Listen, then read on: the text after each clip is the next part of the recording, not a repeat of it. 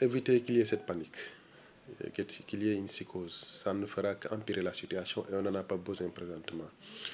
qu'il n'y ait pas de psychose et de panique pour une seule et bonne raison que ce virus peut être dans tous les pays du monde aujourd'hui. Et je pense que le directeur général de l'Organisation mondiale de la santé l'avait dit que tous les pays sud-africains se préparent à recevoir le virus. Parce qu'il n'y a pas aujourd'hui un pays où il y a des moyens de prise en, de prévention qui éviteraient à 100% l'importance ou l'intégration, en tout cas euh, la survenue de ce virus-là.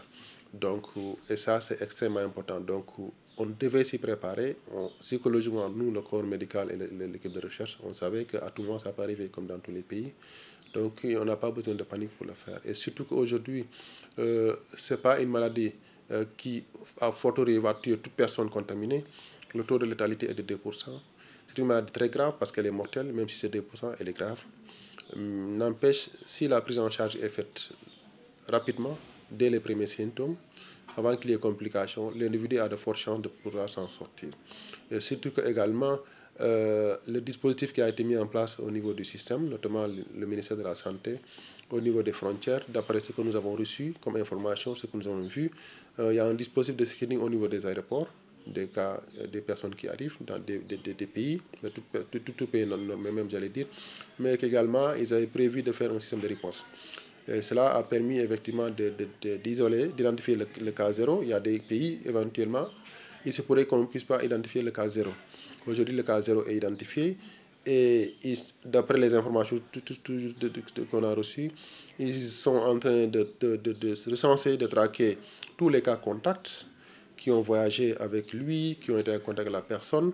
C'est d'abord ça, c'est important parce que c'est à ce moment-là qu'on va pouvoir effectivement vérifier la puissance de, de ce dispositif de réponse du Sénégal. Si le cas est réellement maîtrisé et qu'il n'y ait pas d'autres cas secondaires qui, qui, arriveraient, on saura effectivement que le système de, réponse du Sénégal est assez puissant pour contrôler. Même si avoir d'autres cas n'allait pas dire que le système n'est pas bon, mais que le, dispositif doit être renforcé. Parce que c'est à ce moment-là maintenant qu'on va, comme je l'ai dit, voir. C'est pourquoi je dis, comme on a un pays où au moins on a la possibilité de poser un diagnostic, où il y a un hôpital, en tout cas des structures qui ont été identifiées pour accueillir des malades, et que si les malades sont reçus à temps et euh, dès le début, il y a de fortes chances qu'ils s'en sortent. il n'y a pas possibilité de, paniquer parce que c'est une maladie qui, qui, qui, est là, certes, mais d'autres maladies plus graves ont existé. Et dire également qu'il y a eu le SRAS en 2002-2003, d'autres maladies similaires, et ça a permis de le faire. Et encore une fois, pas de panique. Au contraire, là où on attendra tout Sénégalais, toute personne vivant au Sénégal, c'est de renforcer les mesures d'hygiène.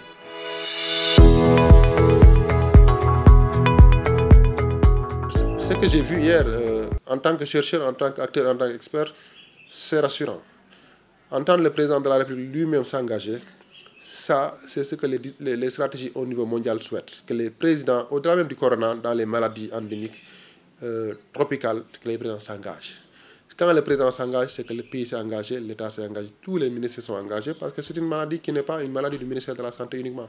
C'est une maladie de tous les Sénégal et de tous les Sénégal et de tous les systèmes. Donc oui, c'est extrêmement important. Effectivement, il n'y a pas un dispositif extrêmement performant dans les pays en, en développement en Afrique, mais il y a des dispositifs qui peuvent gérer des cas. J'ai entendu hier qu'il a demandé de voir qu'est-ce qui manque pour qu'on puisse renforcer, pour assurer une bonne prise en charge et s'être préparé à tout. Mais j'ai entendu également que le malade allait beaucoup mieux, que le diagnostic a été fait, qu'il est surveillé, ça veut dire que c'est rassurant. C'est rassurant parce que ce qu'on veut, nous, d'un malade comme ça, qu'il soit pris en charge, qu'il n'y ait pas de complications. Apparemment, il n'y a pas de complications.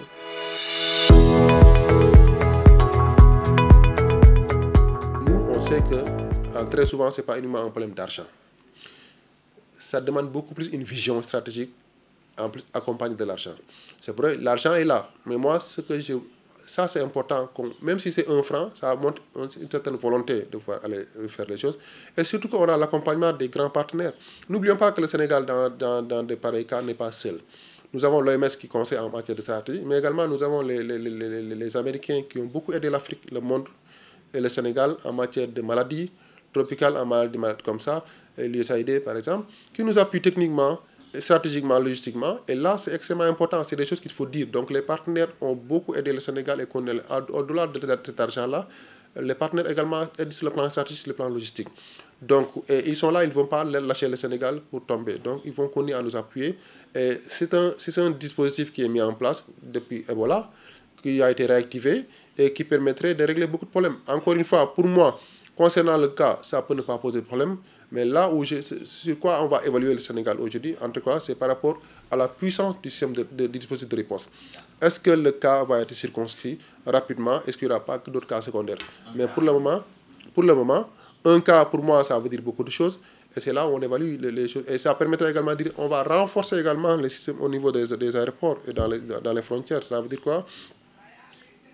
Cette personne, c'est sûr que il a. Moi, j'ai voyagé récemment, il n'y a même pas deux jours. Je sais que la bonne chose, c'est que quand vous arrivez, vous avez les dispositifs de conseil à l'aéroport. Vous avez également, au-delà de ça, vous avez, on vous demande votre adresse, mais mieux, on vous donne votre numéro de téléphone portable. Et ça, j'ai salué.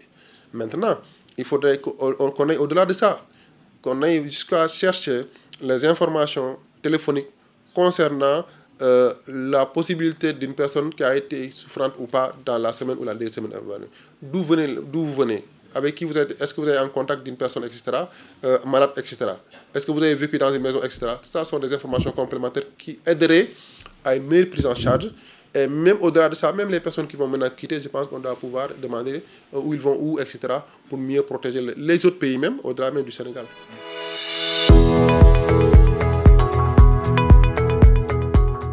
Parle pas de défaillance, je vois qu'il y a quelque chose qui doit être amélioré. Parce que, à mon avis, tout est venu de l'aéroport. Et parce qu'effectivement, c'est parce qu'un dispositif s'évalue chaque jour. Et pour moi, à mon humble avis, je pense qu'aujourd'hui, à partir de ce cas, parce que quand on arrivait, et ça se fait dans beaucoup de pays, on ne fait que la prise de température, on te laisse. Mais quelqu'un peut venir dans l'avion, il, il est souffrant, il prend des antipyrétiques. La température baisse. Il vient, il passe.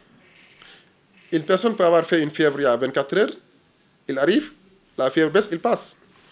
Mais est-ce que ça veut dire que toutes les personnes qui entrent n'ont pas de symptômes? C'est là la grande question.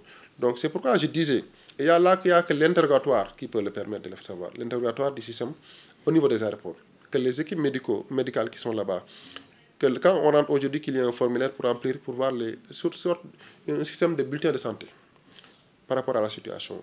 Et si on, au niveau du bulletin, au niveau de la police, on voit qu'il y a des choses qui ne sont pas claires, douteuses, là on réfère au médecin de, de, de l'aéroport, à l'équipe médicale, et qui va faire l'investigation. Éventuellement faire un suivi rapproché de cette personne, journalièrement, par contact téléphonique euh, par, euh, euh, ou bien le demander de venir en de, se présenter, voir, ou bien même envoyer quelqu'un pour, pour, pour, pour, évaluer la situation localement.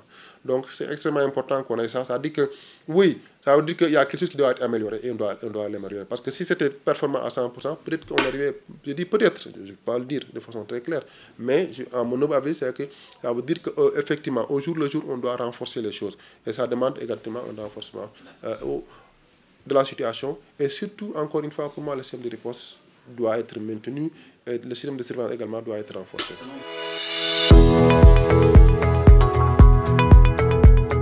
Je pense, hein, si, le cas est bien géré et qu'il n'y ait pas, si les, cas, si les cas contacts sont bien identifiés, comme ils le disent, comme le ministère de la Santé le dit, si c'est bien identifié, si on les a identifiés, on les a, on les a diagnostiqués, on les a suivis, j'espère oui, et qu'il n'y ait pas d'autres cas importés.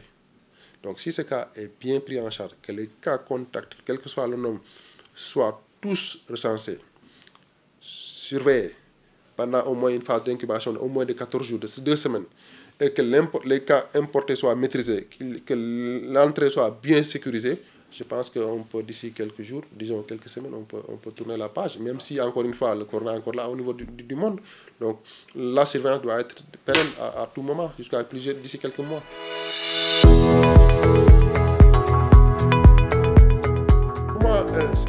Ne parlons pas en tant que personne, ne parlons pas en tant qu'Africain ou, étranger, parlons en tant que personne. Ce virus est dangereux pour les personnes qui ont un problème d'immunité déficitaire. Les personnes pour lesquelles le système immunitaire est fragile, notamment les personnes très âgées, les, tout petits, ou les, les personnes qui ont un problème de système immunitaire, où sont les personnes les plus vulnérables? Même si aujourd'hui, ce virus peut toucher tout le monde, mais ce qui est important également pour toucher tout le monde, mais tout le monde ne tombera pas malade, Et tous ceux qui sont malades... Parce n'a pas été enregistré un cas africain. Oui, mais bon, euh, souhaitons, hein, mais bon, ça ne veut pas dire que les Africains sont, ne sont pas vulnérables, ne sont pas euh, susceptibles de faire ça. Hein. Non, il faut qu'on soit très vigilant par contre par rapport à cette information et à ça. C'est pourquoi je dis, je vois, moi, pour moi, on parle de personnes.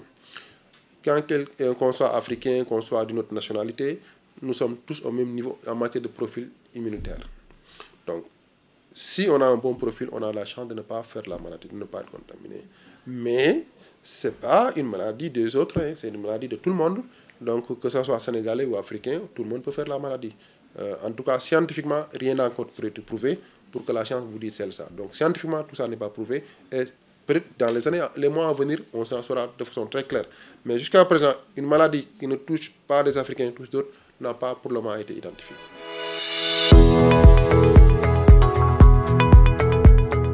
Je pense que ça évolue bien. Ça évolue. C'est difficile d'évaluer encore une fois la situation. Encore une fois, c'est après qu'on va pouvoir évaluer concrètement. Mais les pays, tous les pays concernés sont en train de mettre en place des dispositifs de riposte très coriaces. Il y en a la Chine qui a construit des hôpitaux, euh, par exemple, parce qu'ils ont eu des cas, il fallait faire ça. Il y a le Sénégal aujourd'hui, qui vous dit, on a, il y a l'hôpital de Fan, gens vont essayer de voir d'autres structures en, cas, de, lorsque le nombre de cas sera important. Donc les, pays sont en train de, riposter. C'est pourquoi je le dis, et, on n'est pas seul. En tout cas, surtout en Afrique, on n'a pas les moyens, mais il y a des grandes institutions qui nous appuient. Et je le dis, je le répète, il y a, y l'OMS qui nous appuie, il y a le gouvernement américain qui appuie, qui accompagne comme l'a toujours fait, etc., etc. Donc oui, il y a les dispositifs qui sont là et grâce au partenariat, je pense que ça va progresser.